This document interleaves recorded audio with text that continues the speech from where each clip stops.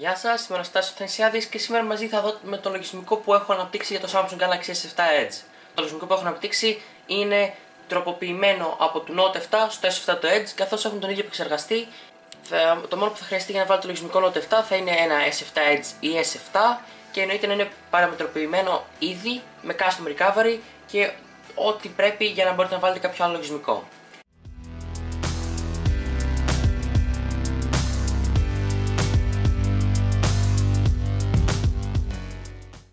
Είναι το XD Developers. Πολύ θέλω να το ξέρετε άμα ασχολείστε με root και με αυτά. Και κατεβαίνετε κάτω κάτω στο δεύτερο post, το οποίο γράφει link. Αυτή είναι η έκδοση που γράφει που είναι με το Note 7 και είναι το λογισμικό κατευθείαν το Note 7. Να σα ενημερώσω ότι κάνοντας αυτή τη διαδικασία χάνετε την εγγύηση. Μέσα σε αυτό το λογισμικό που έχω έχει και ορισμένες παραμετροποιήσεις για να γίνεται ακόμη καλύτερη εμπειρία του χρήστη. Έχω βάλει και το Google Assistant Αφού έχουμε περάσει το λογισμικό μέσα στο κινητό, πολύ απλά κλείνουμε τη συσκευή και να είμαστε έτοιμοι να κάνουμε boot στο recovery. Σας προτείνω να χρησιμοποιήσετε την τελευταία έκδοση TWRP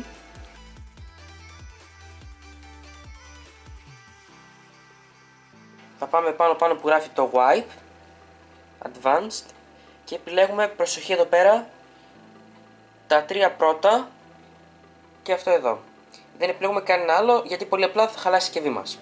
Σας προτείνω βέβαια για να είστε ε, σίγουροι πως δεν θα έχετε κάποιο πρόβλημα, πριν κάνετε αυτή τη δικασία να κάνετε ένα backup, πατώντας εδώ πέρα που γράφει backup και επιλέγοντα τα πάντα, έχετε μια σιγουριά άμα πάθει τίποτα το κινητό σας να ξαναπεράσετε τα πάντα έτσι όπω ήταν πριν. Δεν το κάνω, έχω κάνει ήδη εγώ, όπως βλέπετε εδώ πέρα. Κάνουμε το wipe εννοείται όπως πάντα και κάθε φορά θα πρέπει να κάνετε wipe με, τα, με λίγα λόγια χάνετε τα πάντα που έχετε μέσα στη συσκευή σας.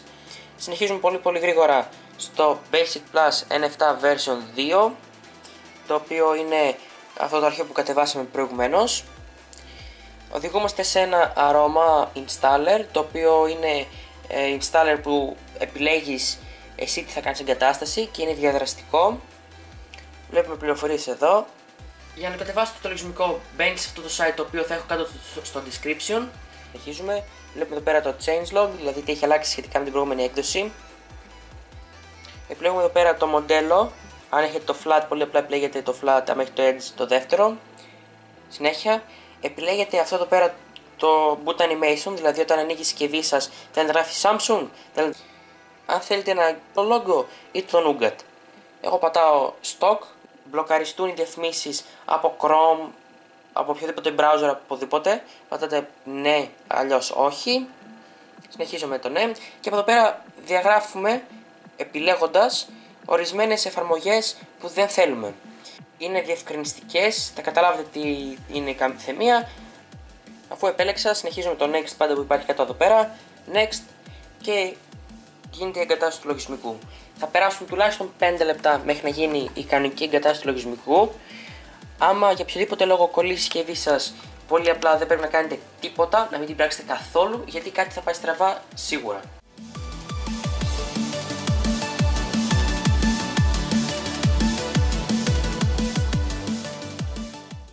Αφού τελειώσει η διαδικασία θα σας βγάλει αυτό εδώ πέρα το μενού που λέει έχει τελειώσει η κατάσταση πατάμε το next και άλλη μια φορά το next και ξεκλειδώνουμε και κάνουμε reboot. Δεν χρειάζεται να κάνουμε τίποτε άλλο.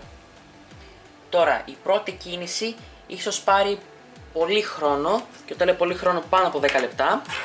Αυτό γίνεται επειδή το λογισμικό είναι πειραγμένο και κάθε φορά που θα βάζετε για πρώτη φορά ένα λογισμικό θα ξεκινήσει πάντα να, αργήσει, να ξεκινήσει αλλά δεν γίνεται αυτό κάθε φορά που ανοίγεις τη συσκευή σου.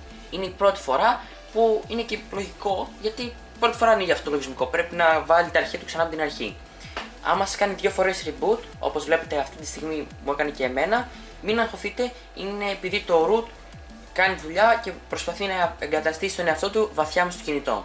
Πέρασαν μπορεί και 10 λεπτά μέχρι να ξεκινήσει για πρώτη φορά το λογισμικό. Επαναλαμβάνω πως αυτό θα γίνεται κάθε φορά που βάζετε ένα καινούργιο λογισμικό και δεν γίνεται σε κάθε reboot. Ξανά, σαν να αγοράζετε πρώτη φορά τη συσκευή, γράφει καλώ ορίσατε κτλ. κτλ. Θα πέρασω πολύ γρήγορα από αυτό και θα το φτάσουμε στην αρχική οθόνη θα ξανασυνεχίσει το βίντεο. Αφού ξεκίνησε το λογισμικό και βλέπουμε κανονικά πως όλα ανταποκρίνονται σωστά, ας κατεβάσω λίγο τη φωτεινότητα για να μπορείτε να βλέπετε καλύτερα.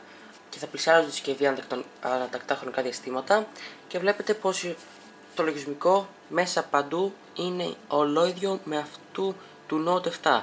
Οι ρυθμίσεις, τα εικονίδια, η status bar, ακόμα και το Always On Display είναι ολόιδιο. Με τη μόνη διαφορά στο Always On Display πως δεν δουλεύουν εδώ πέρα όταν σας βάζει ειδοποιήσεις και τα πατάς δύο φορές, όπως γράφει εδώ πέρα, δεν λειτουργεί γιατί ακόμα δεν υπάρχει κάτι για να μπορούμε να το περάσουμε από το Note 7 στο S7 το Edge. Δίνει πολλά προβλήματα. Αλλά αυτό είναι ένα μικρό πρόβλημα το οποίο είναι πολύ ασήμαντο. Το λογισμικό είναι ολόγιο, δεν υπάρχει καμία απολύτως διαφορά. Εννοείται πως ο σύρδα δεν δουλεύει, μην το ψάξετε.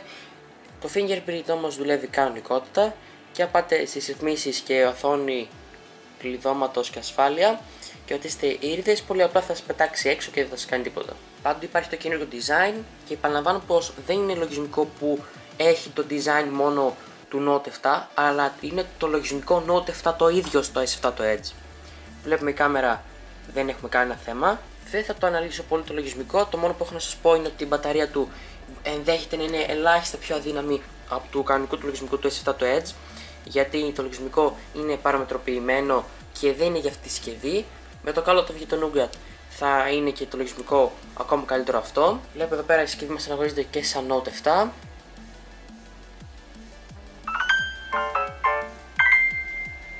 Και ωραίες ηχοσυντοπίσεις. Όλα μοιάζουν τέλεια. Δεν έχω, δεν έχω κάτι να πω παραπάνω. Το μόνο που θα σας δείξω είναι το Google Assistant, το οποίο το λάτρεψα. Θα συνδεθώ όμως λίγο με το λογαριασμό του Google και θα σας το δείξω αργότερα.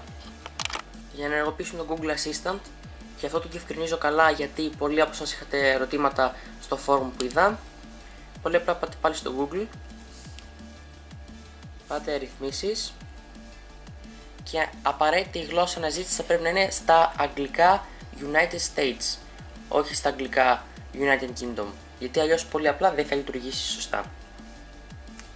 Επίσης καλό θα ήταν να αλλάξετε και τη γλώσσα συστήματος σε αγγλικά, προκειμένου να λειτουργήσει πιο σωστά η Google Assistant. Και αφού κάνετε αυτά που σας είπα πατάτε πολύ ωραίο το κεντρικό κουμπί και μπορεί να σας βγάζει αυτήν την οθόνη αλλά γράφει Meet your Google Assistant και γράφει Teach the Assistant to recognize your voice bla bla bla. Do it later. Done Hi, I'm your Google Assistant. Και έχουμε στο κινητό μας με το λογισμικό Note 7 το Google Assistant. που κανονικά στο Note 7 δεν υπήρχε το Google Assistant. So, how αυτό ήταν το λογισμικό Note 7, είναι ολόιδιο, δεν έχετε να χάσετε τίποτα, παραπα... τίποτα από το S7 το Edge και νομίζω πως αξίζει αναβάθμιση. Τουλάχιστον μια δοκιμή θα σας πείσει, θέλω να πιστεύω. Αν το δοκιμάσετε το λογισμικό, θέλω να μου γράψετε κάτω στα comments αν σας άρεσε και τι παράπονο έχετε και τι περιμένετε από την- από μένα στην επόμενη έκδοση. Ελπίζω να σας άρεσε το βίντεο, μην ξεχάσετε να κάνετε ένα like και ένα subscribe, ενείτε και ένα comment με αυτό που σας είπα προηγουμένως. Και ως την επόμενη φορά τα λέμε.